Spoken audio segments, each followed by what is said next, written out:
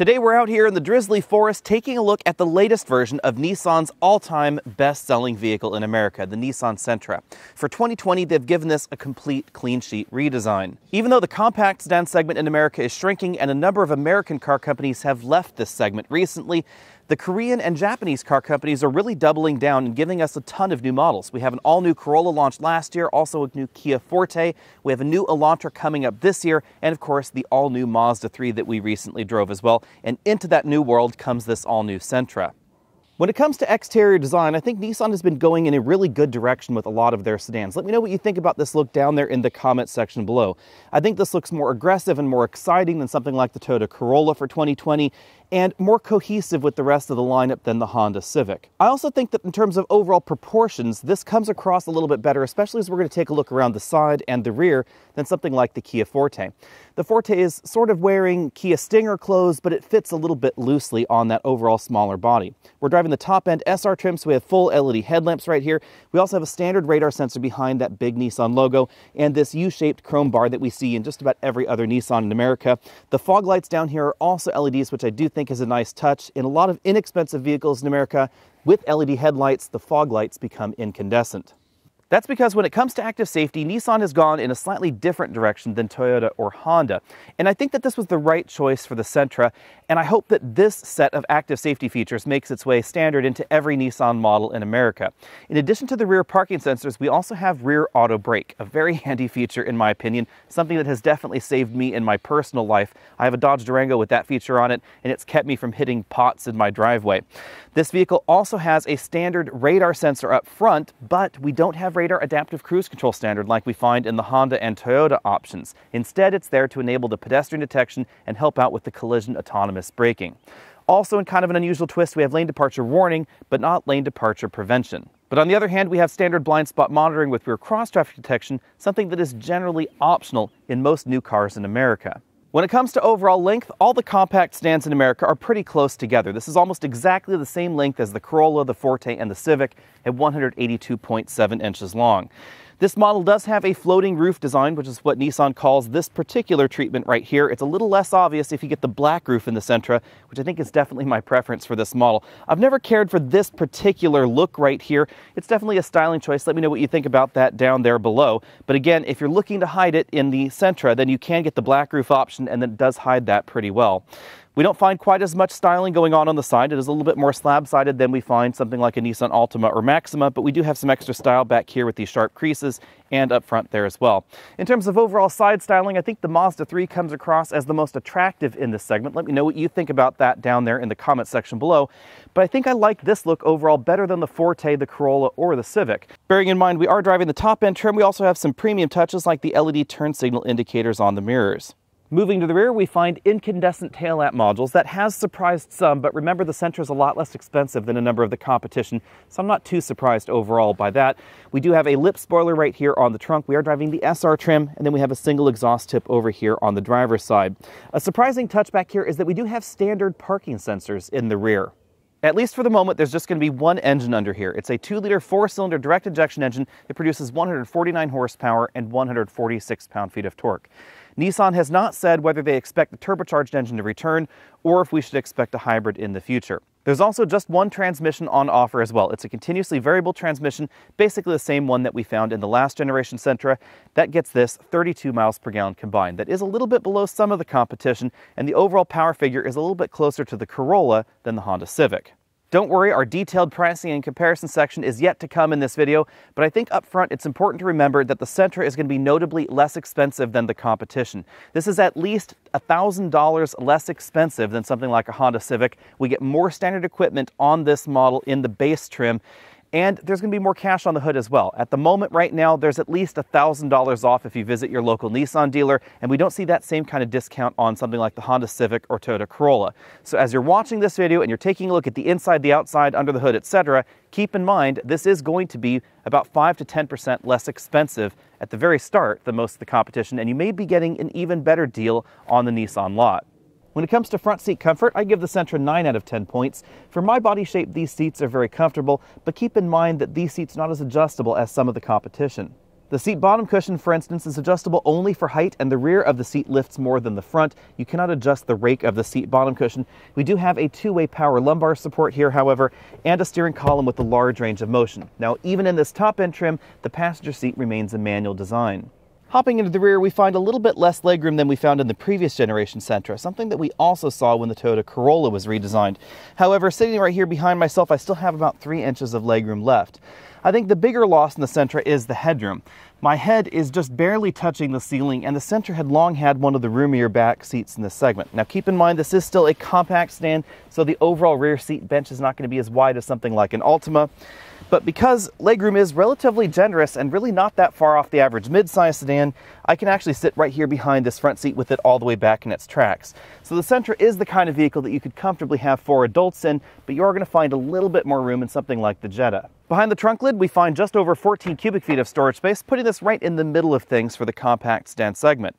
One thing that I've really loved about Nissan sedans for years is their ability to accommodate 22 inch roller bags in this upright position and still close the trunk lid. That makes them an awful lot more cargo practical than some of the competition. The problem is that no longer works for 2020. Due to this all new platform design, the trunk has become a little bit longer in terms of overall dimension and a little bit shallower. And that means that you just can't have this bag in this position and still close the trunk lid. It just doesn't work. On the other hand, there's still plenty of room in here to put 22 inch roller bags in this position and still slide them all the way back there to the rear seat backs. And then you could put some additional luggage right there behind it. But again, overall not quite as practical as the previous generation model. In case you're wondering, yes, there is a spare tire under the load floor. It's one of the donut variety. You can see that they store the scissor jack right there next to it. As we look around this interior, keep in mind that we are in the top end SR trim, so we have a moonroof right here over the driver and front passengers' heads. The driver and front passenger get height adjustable shoulder belts, two-way adjustable headrests, and you can see that we have orange contrasting stitching on the seats. The shoulder section of the seat has a fabric insert to help dress things up a little bit, and again, you can see more of that stitching going on right there. As we move on over to the seat side cushion and seat back cushion, you can see that the bolstering is not terribly aggressive there. Moving over to the front doors, we find a reasonable percentage of soft touch materials. We do have a soft touch upper section right there on the door, this extra stitching going on right there in the soft middle, and then a very soft armrest like we find in other Nissan products. This particular model has the optional Bose audio system, so we do find a Bose logo on that speaker grill right there, right next to that storage bin at the bottom. Moving over to the dashboard, we find a soft touch injection molded upper section here with after stitching. So this is a traditional injection molded part that's then been run over to give it this orange stitching. As you'd expect out of a compact sedan, hard plastics are definitely found lower in the dashboard. And then we have a bin style glove compartment right here. I was able to fit a large tablet computer inside without a problem. Moving over to the middle of the dashboard, we find one of two different infotainment systems depending on the trim level you get. Base models get a 7-inch touchscreen system, which still has Apple CarPlay and Android Auto, something that is optional in the base Civic. The rest of the trim line will get this larger 8-inch color touchscreen. We have some physical buttons along the bottom, direct access to the 360-degree camera system. Pretty unique feature in this particular segment. Direct access to the home menu, which takes us back to the systems interface. Then there's a single button press right over here on this side to get over to Apple CarPlay. There's also a physical volume knob and a physical tune and scroll knob. Overall, the system is pretty easy to use. I don't find the software quite as intuitive as we find in the Kia Forte or the Hyundai Elantra, but I think the system is definitely more modern and a lot fresher feeling than what we find in the Honda Civic. This system uses the same basic software package that we find in a number of Nissan products, so we still have Nissan's connected services, for instance, right there. Below the infotainment system, we find three pretty large air vents. There's a knob right in the middle to open and close the vent. It's a pretty easy to use design right there. We find dual zone automatic climate control below that and controls for the heated seats and the heated steering wheel right there. A USB-C and regular USB input for the infotainment system. Right now I have my iPhone connected via the USB-C port and that does work with the CarPlay or Android Auto interface. We have a pretty typical console shifter right here drive all the way back there, this low one more click, and then this little button right there on the back of the shifter is the sport mode button. It's pretty discreet. Some folks miss that. We have a start stop button right there for the keyless go system, a small storage cubby, and two very, very large cup holders. The center console has more of that contrasting stitching going on. It is softly padded, and if we open this up, we find a reasonable amount of storage space for a compact sedan. One thing that I do appreciate in most modern Nissans is that the armrests are all very softly padded. That's a really nice touch. On the driver's side, we have a partial LCD instrument cluster, but in kind of a surprising move, this is not shared with the Versa and the Kicks, but rather with Nissan's larger products in the US. So we still have a physical speedometer and tachometer on the left and the right, and then the color display is right there in the middle. It is a 7-inch display, basically like we find in the Nissan Pathfinder. In this display, you'll find things like fuel economy, your regular trip information, status of the vehicle's active safety systems, readouts from the infotainment system, and the ability to change certain vehicle settings. Moving out from there, we have an attractive flat bottom steering wheel. It's heated and leather wrapped in this model. We also have sport grips right up top. And I have to say, the steering wheel design overall is one of my favorites in the mainstream segment. On the right side of the steering wheel, we have the controls for the radar adaptive cruise control. We also have a voice command button and a phone button, but we don't find any lane keeping assistance button or ProPilot assist button because those are not features available on the Sentra. On the left side, we have the infotainment controls, and then this joystick arrangement controls that multifunction LCD cluster. Acceleration times in the Sentra will really depend on exactly how you started the Sentra off from a complete stop. If you were not at a full stop, if you didn't just go straight to a full throttle acceleration, then this will imitate gear shifts as you just heard there. If, however, you go, do go to a complete stop here, we're going to come to an absolute full stop and then just romp on the accelerator immediately, then the CVT will just behave like a CVT and will just vary ratios. It won't do the imitation shifts that we saw before. You can see her just hanging out there right around 5,500, 5,600 RPM as we start accelerating. That's going to give you 8 seconds 0 to 60, which is pretty average as far as a compact sedan goes. Remember that the vast majority of the competition at this point has a CVT under the hood. We find a CVT in the new Elantra, the Kia Forte, the Toyota Corolla, the Honda Civic, etc. Really the only entry in this segment that is not going to have a CVT in any of the trims is going to be the Mazda 3. But the Mazda 3 is not necessarily going to be that much faster because it does have an older 6-speed automatic transmission and the Mazda 3 is overall fairly heavy. In our braking test, it took 115 feet to stop this vehicle from 60 miles an hour back to zero. That's because Nissan really kept weight in check with this generation of the Sentra. And the relatively light curb weight pays dividends when it comes to overall handling. I'm going to give this an A when it comes to the overall handling score. Unless you're talking about the sportier trims of the Honda Civic, which obviously don't have a direct corollary over here in the Nissan lineup, the Sentra is going to be one of the better handling options in this segment. I like the overall handling feel of this better than what we see in comparably equipped and comparably priced versions of the Civic, or of course the Toyota Corolla as well. Now, if you are willing to spend a little bit more, obviously you can get Civics that will handle better. We have a sport trim the Civic, we have the Civic Si, we have the Type R, etc but none of those models has a direct competitor here in the Nissan lineup. This is really only competing with perhaps the bottom two entries in the Civic. The lack of sport trims is really important to keep in mind because while you can have more fun in a Forte or an Elantra or a Civic, etc., they're not going to be quite the same thing as the model that we're driving right here. Out on a rougher gravel road like we're on here, the Sentra has a pretty decent balance in terms of the overall suspension tuning. The SR trim that we're driving here does have lower profile tires than the base models, so this one falls a little bit below that in terms of overall ride score. I'm going to give this an A-. Bear in mind that sport trims of the competition, like the Civic or the Elantra, are going to be generally speaking a little bit firmer than this, and I think that the Toyota Corolla comes in just a little bit softer.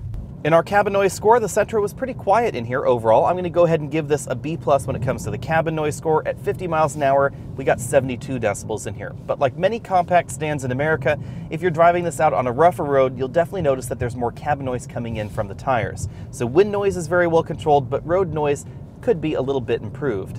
When it comes to fuel economy, we've been averaging 30 miles per gallon, which is a little bit below the EPA score. If you want the best mileage in a vehicle in this segment, then you're going to want to be looking at hybrid options, something like the Honda Insight, the Hyundai Ioniq, or of course the Toyota Corolla hybrid. There was a time where Nissan really was giving us the best fuel economy in every segment that they were playing in thanks to the CVTs that we find under the hood, but now that a lot of the competition have moved to continuously variable transmissions, some of the benefit in terms of overall fuel economy has fallen away for vehicles like the Sentra because we do find better fuel economy in the Honda Civic with its 1.5 liter turbo and CVT. We also get better fuel economy in the Toyota Corolla with its standard CVT as well. This is relatively similar to what we see in the Forte and relatively similar to what I expect in the upcoming new Elantra as well. On the other hand, if you want better fuel economy, just about everybody out there has a full hybrid option and manufacturers like Toyota and Hyundai actually have several options that are hybrids to compete directly with this. Hyundai has the Ioniq and the upcoming hybrid Elantra. Toyota has the Prius, of course, and the Toyota Corolla as well. Overall, out on the road, this is certainly a lot more competitive than the previous generations of the Sentra. This feels much more grown up out on the road. It feels a little bit sportier as well. I think the ride is a good balance between performance and a decent ride score there, but it is definitely a little bit firmer than the previous model. And overall, this Sentra just feels more substantial than the previous generation as well.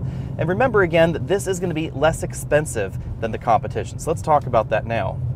The big thing to remember about the Sentra is that it is a very inexpensive option in this segment. It starts just over $19,000 and has a ton of active safety technology on it, like we mentioned earlier. We have the autonomous emergency braking system with pedestrian detection, a feature that we don't find on most base AEB systems out there. We also have blind spot monitoring with rear cross traffic detection, the rear parking sensors with reverse emergency braking, auto high beams, and a ton of value features as well. The CVT is standard, as is a 7-inch touchscreen, not a 5-inch or smaller screen like we find in many of the competitors, although it is worth noting you don't get Apple CarPlay or Android Auto until the SV trim, which has a slightly larger display. That SV trim is probably the best deal in the Sentra lineup, because for just about $1,000 more, we get a ton of additional equipment. We get things like the alloy wheels, the proximity key system, the 6-speaker audio system, that 8-inch touchscreen I mentioned earlier with Apple CarPlay and Android Auto. We also get XM satellite radio, the 7-inch LCD partial instrument cluster, two-zone automatic climate control, and the adaptive cruise control functionality with that radar sensor in the bumper. Now, unfortunately, the SR trim, which is the one that we were driving today, does not have any extra power, and I think that's the one thing that's missing from the Sentra lineup. But as you'll notice, when we take a look at some of the competitors here, that's not really going to matter so much because even though the SR is the top end trim of the Sentra, it comes in considerably less than most of the competition's mainstream trims. And remember that in typical Nissan fashion, there are a ton of discounts available on the Nissan lot as well. It looks like at this moment you could expect between 750 and $1,000 off of the Nissan Sentra. That's a much deeper discount than we find on most of the other lots out there. So be sure and factor that in when we're talking about pricing and comparisons. With that out of the way, let's dive into the Civic as our first competitor. It starts at $20,650, so that's notably more expensive than the base Sentra.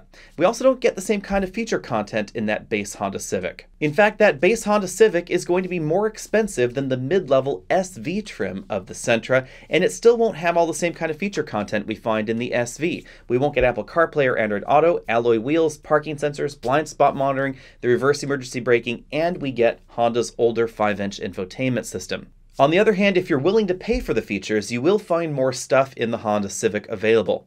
For instance, the EX trim and above have Honda's excellent 1.5 liter turbocharged engine that makes that one of the faster entries in this particular segment. It also improves fuel economy, interestingly enough, bumping the Civic from 33 miles per gallon up to 36. You also get 174 horsepower, making it one of the faster entries in this segment. We're not even talking about vehicles like the Civic Si or the Civic Type R yet.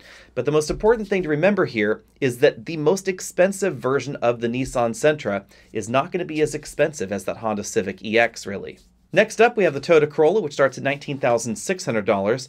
With this generation of the Corolla, they have been very, very aggressive at driving a lot of their active safety technologies down even into the base model. And honestly, when we take a look at the level of feature content that we find in the Corolla, it offers excellent value even in that base model as well. But very much like the Honda Civic, the Sentra is still going to be less expensive than the Toyota Corolla. And the overall driving nature is not really going to be too much different. Toyota's newest continuously variable transmission in the Corolla is a little bit more engaging than what we find in the Sentra. It has a physical first gear to have, give us a better launch, but honestly, for the most part, the transmissions are going to feel very, very similar.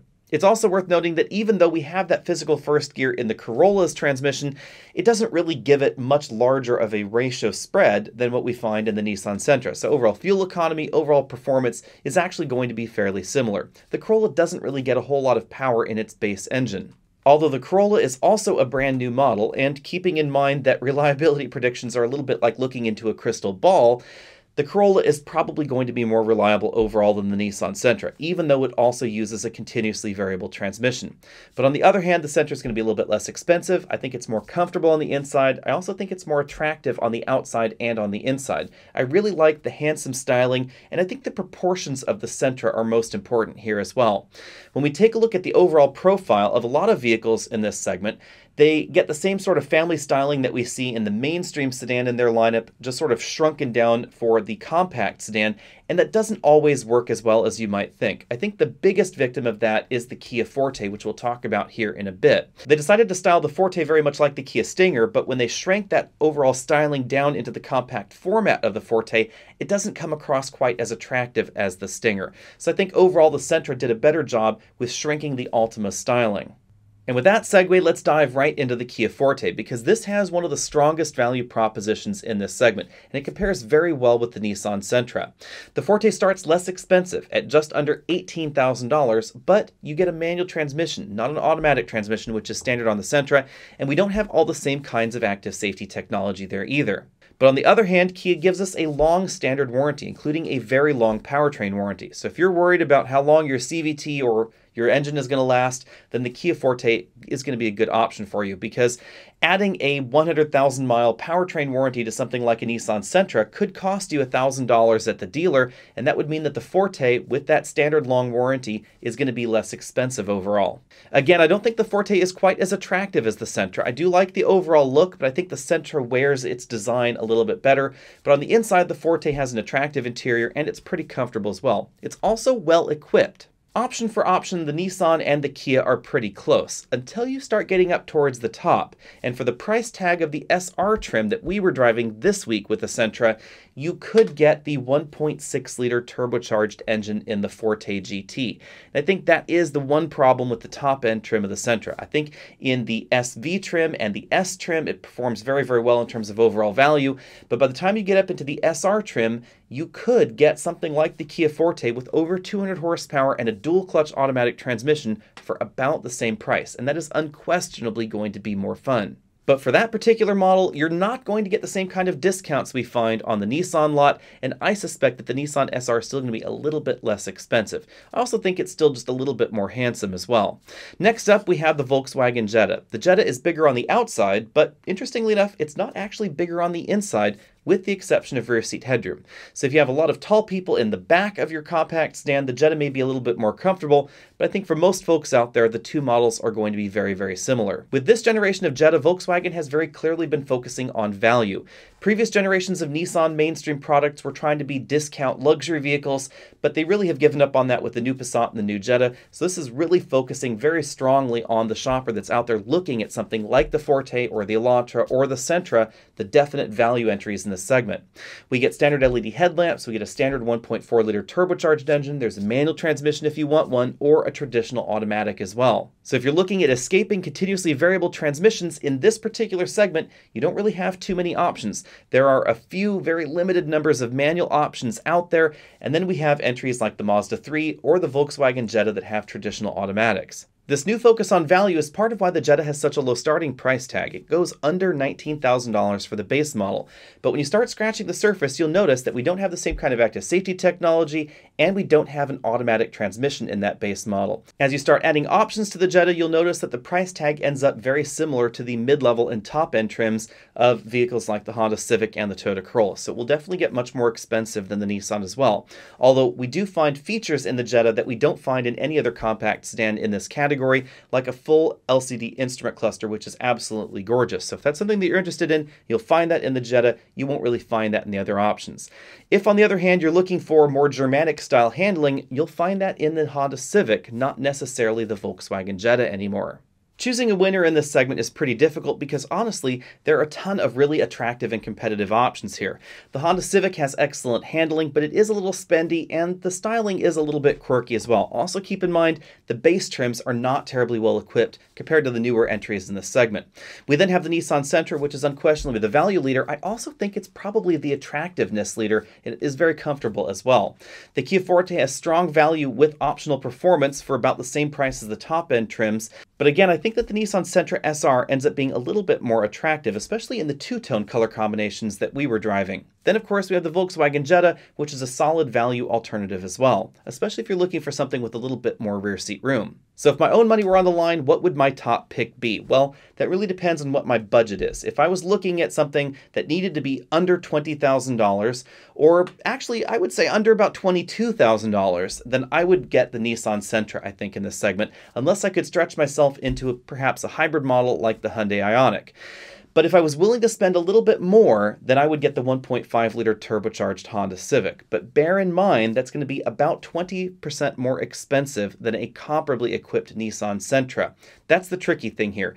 Is the Honda Civic more fun? Yes, it is. Does it handle better? Yes. Does it accelerate better? Yes but it's going to be notably more expensive.